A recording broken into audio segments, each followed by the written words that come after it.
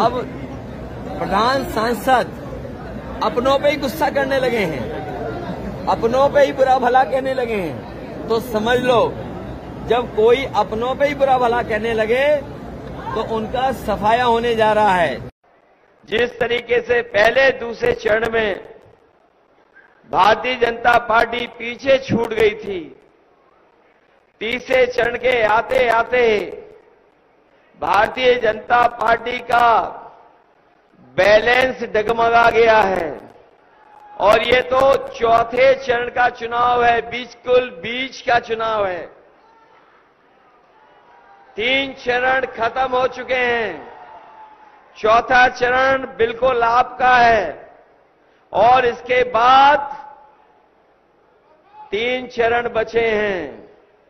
और हमें भरोसा है कि इस बार जो वोट पड़ेगा चौथे और पाँचवें चरण का, भारतीय जनता पार्टी का पूरा का पूरा बैलेंस डगमगा जाएगा।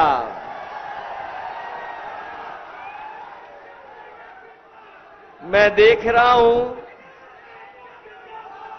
कि जो लोग 400 पार का नादा दे रहे थे 400 पार का जो लोग नारा दे रहे थे,